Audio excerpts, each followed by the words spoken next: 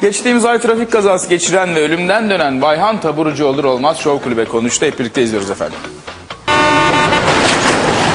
Bir ay önce ölümden dönen Bayhan ilk kez dışarı çıktı ve ilk kez programımıza konuştu.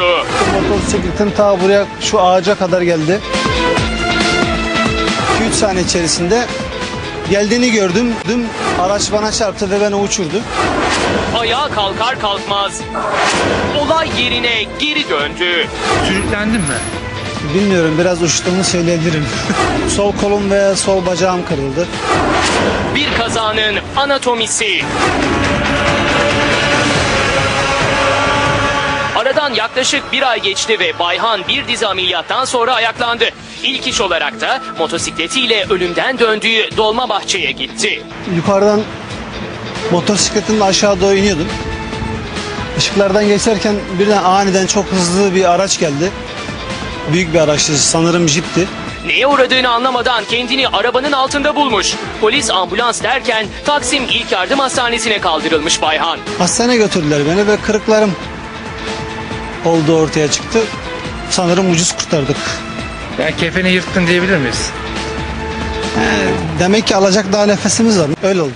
Gerçekten de ucuz kurtarmıştı Bayhan. Ölümden dönmüştü resmen. Hastanedeki ilk görüntüleri de programımızda ekranlarınıza gelmişti.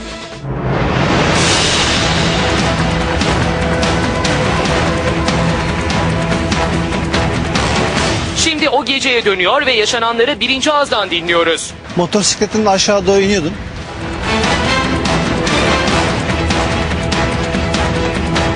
Talimhaneden gelirken Yavaş yavaş geliyor. Hızlı mıydı? yok yavaş standart bir gelişim vardı. Araçlar kırmızı ışıkta duruyordu. Bana çarpan araç hariç. Yani o muhtemelen çok geriden geliyordu ve hızlı geliyordu. Kırmızı ışıkta durmayı pek tercih etmedi. Sana yanan ışık senin için yeşil miydi? Sanırım sarıydı. Pek çok insanın yaptığı gibi sarıda geçerim diye düşünmüş Bayhan ama geçememişti ne yazık ki. Sen peki sana vurduğu an mı anladın yoksa sana vuracağını gördün mü? Aniden bir 2-3 saniye içerisinde geldiğini gördüm. Gördün yani. Evet yani o 1-2 saniye içerisinde gördüm fakat bir şey yapamadım çünkü ne yapacağımı pek karar veremedim. Her şey bir anda olup bitmişti zaten. Araç bana çarptı ve beni uçurdu. Sürüklendin mi? Bilmiyorum biraz uçtuğumu söyleyebilirim.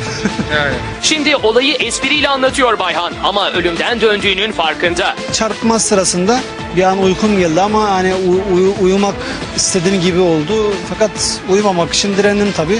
Uyusaydım belki de bir daha uyanamazdım. Uyumamak için resmen direnmiş Bayhan. Ünlü şarkıcı ölümden döndü ama hayatından da pek çok şey kaybetti. Biraz azim ediyorum. iyileşmem lazım bir an önce çünkü. İyileşip bir an önce işime gücüme bakmak zorundayım. Hatta kazadan bir gün sonrasında benim dizi çekimlerim başlayacaktı. Yani çok şanssızlık oldu.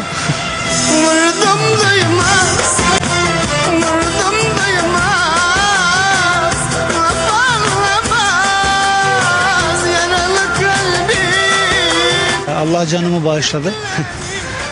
Ee, tekrar mücadele etmek lazım, iyileşmem lazım. Öncelikle kırıklarını onarması gerekiyor Bayhan'ın. Çok da hareket ettiremiyorsun gördüğüm kadarıyla. Dirseğimden kırıldı. Dirsekten ve aşağıdan kırıldı. Ayağında kaç kırık var ve ne durumu? Ayağımda dizimin altında, diz altında kırık var.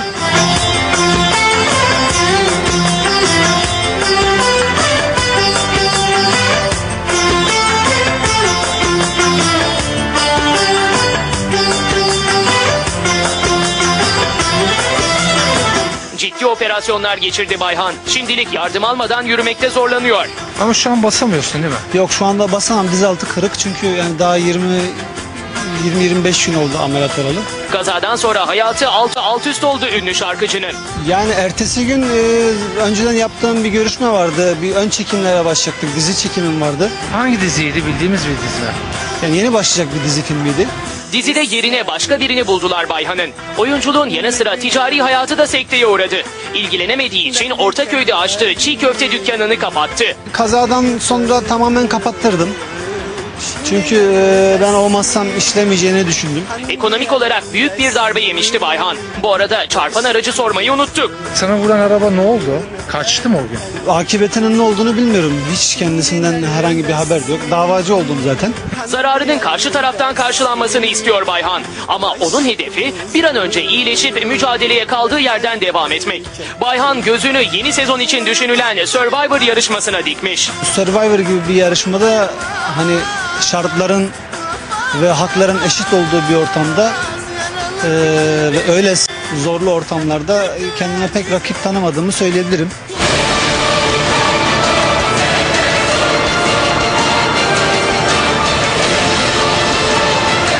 Mücadele benim hayatım.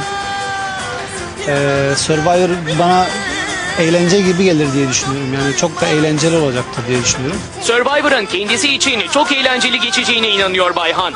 Peki ciddi bir teklif var mı acaba Acun Ilıcalı'dan? Yani Acun abiden teklif gelirse katılırım yarışmaya. Survivor hesapları yapmadan önce iyice iyileşmesi, ayağa kalkması gerekiyor Bayhan'ın. Bu sırada ruhunu da dinlendirebilir fırsatını bulmuşken. E tabii ilk kez doğru düzgün ilk kez dışarı çıktım. Eşsiz bu güzelliğin, özgürlüğün, nefes almanın ve yaşamanın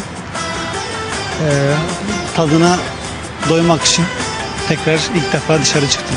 Ünlü şarkıcıya geçmiş olsun dileklerimizi sunuyoruz. Biz seninle ne günler gördük Derdi keder acıyı böldük Çek çek